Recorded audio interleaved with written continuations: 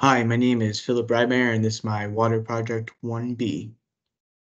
So to start off, my objectives were identifying a sub-watershed and finding the area, finding the intensity of the zone where the watershed resides, and finding the peak discharge of the sub-watershed. So to start off, my original watershed was in Ithaca, Nebraska in Saunders County. I chose this area because I have family living up there and I wanted a relation to my original DEM that got my watershed. My preliminary sub-watershed delimitation is just choosing a watershed that looked all right. This is a good uh, network of channels and it's about the right area at 149 acres using my eyes. Um, next, I delineate, I delineate the sub-watershed using the upslope area, using an outlet point. Um, this shrunk the preliminary area um, by like about 20 acres, and I noticed there was not enough channels, which caused me to run the channels and basins program again with a more sensitive stream threshold. Um, so to calculate the area for, of the subwatershed, I used the attribute table, table expression for area but that gave it in square meters. So then I did another expression which did the square meter area calculations, but then I multiplied it by the conversion to acres. As you can see, um, it's about 500,000 square meters and 125 acres. So next, I'm finding the elevation for Kirpich equation. I will also find length in the next slide. Um, but to do that, I decided that the farthest point was the bottom left. And then I used the identify tool and found the elevation of the bottom left corner, um, which is about 397. And then the outlet point elevation to the right, um, again with the identify tool, is about 373, both in meters.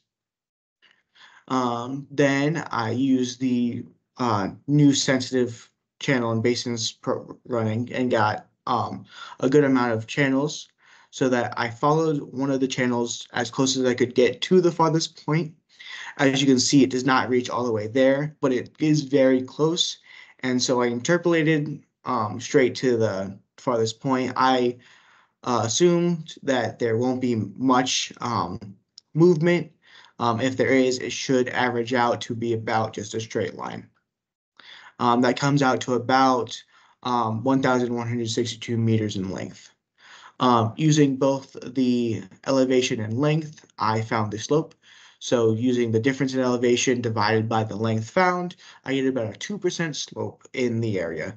Um, then I plug that into Kirpich's equation um, using a constant of 0.0195 simply because I am using um, meters as my unit. Um, this gets my time of concentration to 20.15 minutes, um, but we round to 20 minutes because the IDF curve has uh, integer lines for the intensities. So then I we have my IDF curve, which I found by going to the NDOT Drainage Design and Erosion Control Manual, finding that Saunders County is in Zone C of Nebraska, then scrolling down to the Zone C IDF curve, using the rainfall intensity versus return period, and then the project wanted a 10 year return period rainfall intensity. So I used the 10 year return period, um, followed it up to the 20 minute IDF curve. And then that gives me about a rainfall intensity of about 4.67 inches an hour. Um, with that rainfall intensity, I can then use the rational method. But first, I have to find a C value.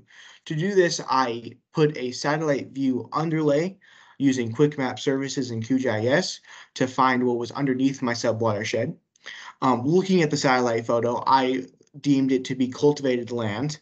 Um, and then with a slope of 2%, that would make it flat cultivated land, meaning that the C value was 0.36. Then, using the C value, the rainfall intensity and area all found in the project, we multiply them all together to get peak discharge of 209.785 cubic feet per second. In conclusion, um, our objectives were to find the area, which was 125 acres. Um, the time of concentration is 20 minutes. The rainfall intensity is 4.67 inches an hour in that area. And then the peak discharge of my sub watershed at 210 cubic feet per second. Um, the only citation I have is the roadway design manual that I use to find the IDF curves. Thank you very much.